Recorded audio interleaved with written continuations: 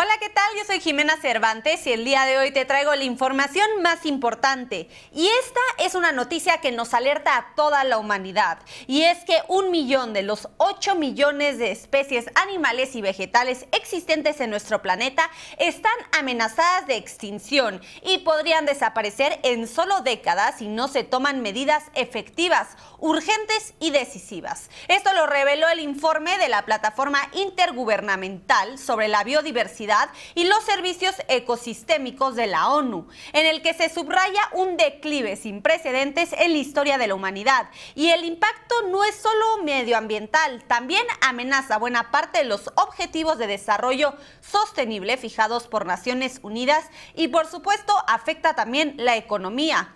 Los expertos señalaron que maltratar a la naturaleza significa frenar la lucha contra la pobreza, el hambre o por una mejor salud del ser humano. Alertaron que el tiempo se acaba y es momento de actuar tanto a nivel global como a nivel local. Y en otros temas, el Ministerio de Antigüedades de Egipto dio a conocer un cementerio de hace 4.500 años cerca de las pirámides de Giza que contiene ataúdes de madera colorida y estatuas de piedra caliza que datan del antiguo reino. El sitio ubicado al sureste de la meseta de Giza contiene varias tumbas de varios periodos, pero la más antigua es una tumba familiar de piedra caliza de la quinta dinastía. El ministerio dijo que la tumba era para dos personas. Behuni K, quien tenía siete títulos que incluía el sacerdote, el de juez y el de jefe del gran estado y purificador del faraón Kefren. Este conocido por los antiguos griegos como Chef Gren, quien construyó la segunda de las tres pirámides de Giza.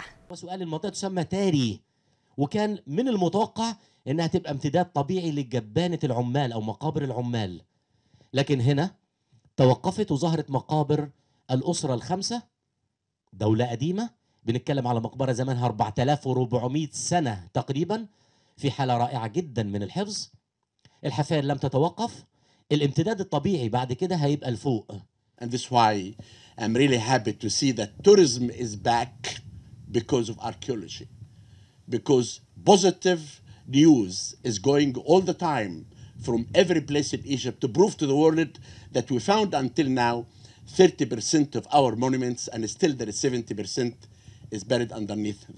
Y en Japón se llevó a cabo el Festival de la Paz en la ciudad de Kaso, donde por primera vez una grúa levantó una gigantesca serpiente multicolor de 100 metros de largo y con un peso mayor a los 300 kilos. A este evento asistieron unas 120 mil personas para tomar fotografías de esta enorme serpiente en los cielos. Niños y sus familias acuden de manera tradicional a este encuentro que tiene como objetivo decir una larga y saludable vida a todos los niños de Japón.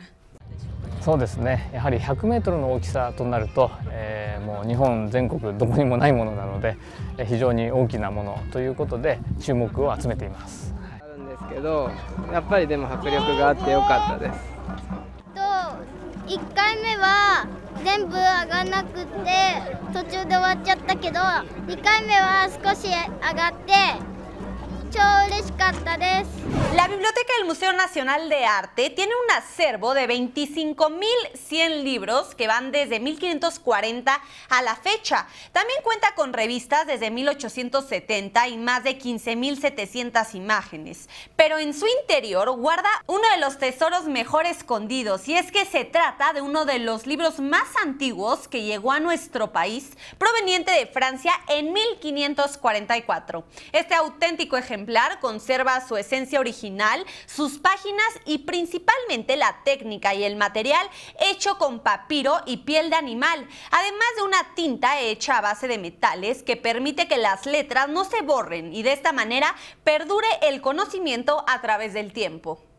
Este libro está hecho de hoja de papiro, eh, trabajada desde Europa porque se echó en Francia y lo que nos deja ver es una segunda encuadernación. Como vemos en este material, lo más probable es que este libro en su momento de creación, porque era la, pasta más común para todos, ya que costaba prácticamente como si lo viéramos ahora un peso, este, eh, debió de haber estado eh, forrado de piel de animal. Esta que tú estás viendo ya es una segunda o tercera encuadernación porque vemos un tipo de keratol que es una pasta mucho más del siglo XIX. El libro, como en sí el, el libro está completamente intacto, así que desde la portada hasta el final no tiene ningún tipo de alteración.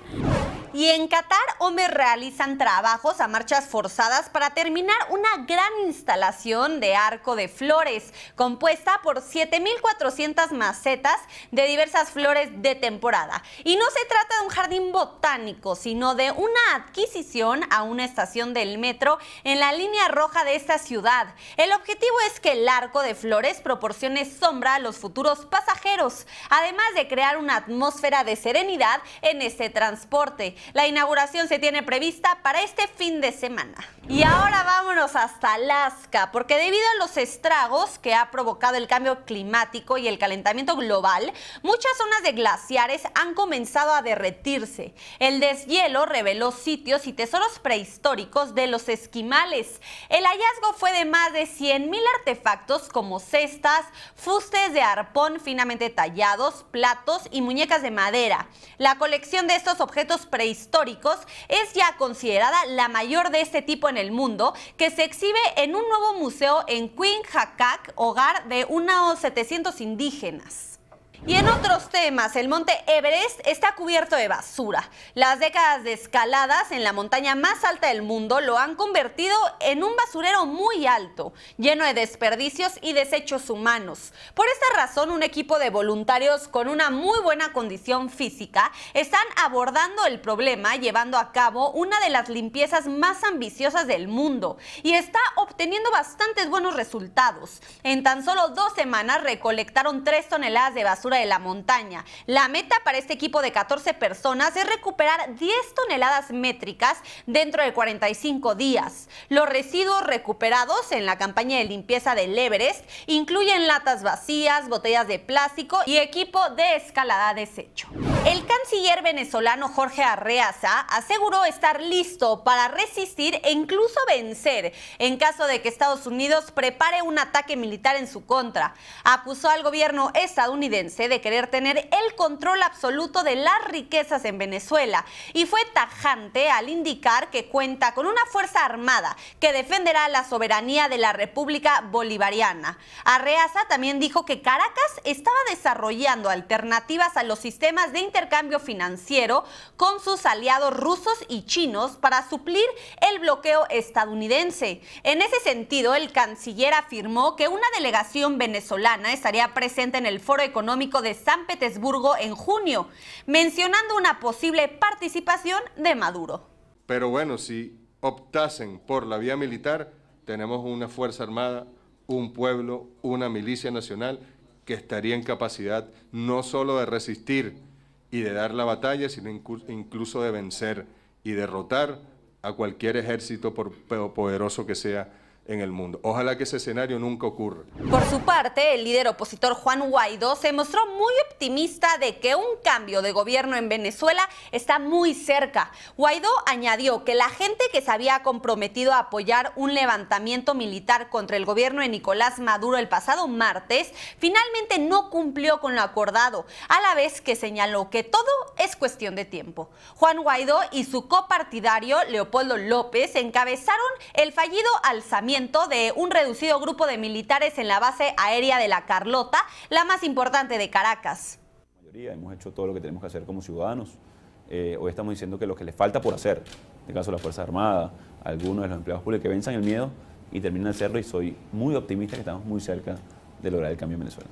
Y en otros temas, España anunció la activación de un plan para reconvertir 375 millones de euros de deuda cubana en proyectos de infraestructura en la isla.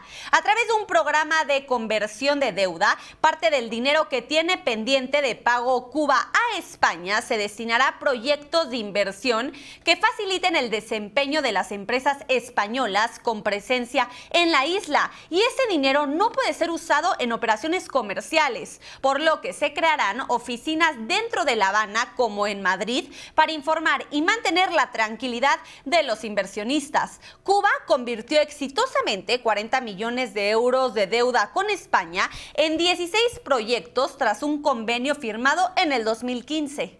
Sí, el fondo contravalor, como decía, que se va a activar eh, de 375 millones de euros es eh, una buena noticia porque va a permitir seguir desarrollando inversiones de empresas españolas en Cuba y, por lo tanto, reforzando esos lazos comerciales y de inversión. Es verdad eh, que el hecho de que sí están impagos con un volumen que estimamos en torno a los 300 millones de euros genera incertidumbre y está afectando también negativamente a muchas de las empresas españolas que invirtieron en Cuba. Y esa es una muy buena noticia y muy alentadora para los migrantes centroamericanos, pues el gobierno de Estados Unidos permitirá el ingreso de 30 mil trabajadores temporales extranjeros para hacer labores hasta finales de septiembre. Este plan va a beneficiar a las compañías de mariscos, pescaderías, madereras y hoteles de temporada.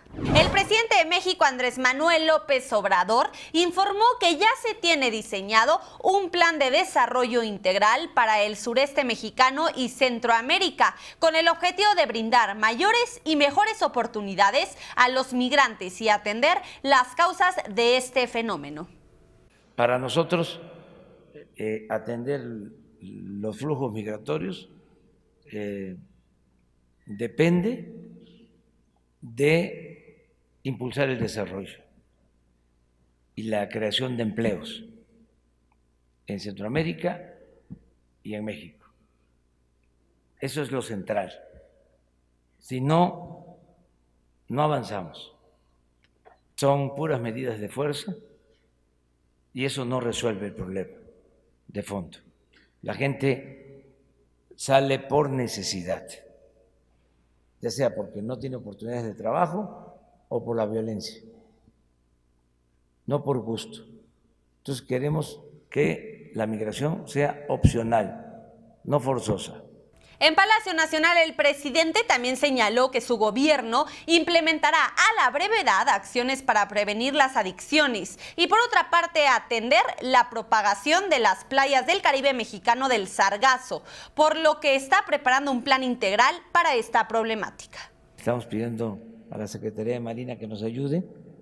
Ellos tienen este pues equipo, tienen experiencia y eh, se va a resolver este problema. Y la Secretaría de Turismo y el gobierno de la Ciudad de México invertirán 250 millones de pesos para recuperar y rehabilitar dos barrios emblemáticos del centro histórico de la capital, Santa María la Redonda y la antigua Merced. Esta recuperación forma parte del programa de integridad del centro histórico que fue anunciado por el titular de Sectur, Miguel Torruco, y la jefa de gobierno, Claudia Sheinbaum, para así incrementar el turismo en la metrópoli. En el evento, Sheinbaum pidió el apoyo de la iniciativa privada para rehabilitar otros espacios del centro histórico, como la Ciudadela, e impulsar los más de 12 mil comercios establecidos en la zona. Para activar esta zona de 700 cuadras, los comerciantes anunciaron que próximamente harán promociones, descuentos y otros beneficios.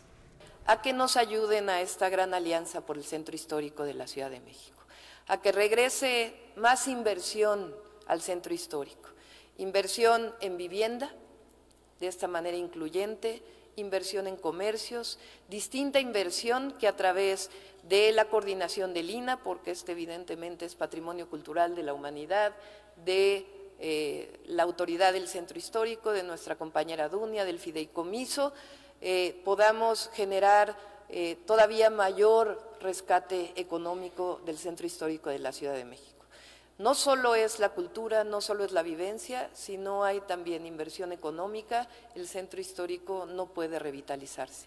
Para encontrar más información sobre distintos temas, tanto nacionales como internacionales, los invito a que nos visiten en nuestras redes sociales. Estamos en Facebook, en Twitter y en Instagram como wipi.tv. Ahí encontrarán muchísima información, así que visítenos. Yo soy Jimena Cervantes y nos vemos a la próxima.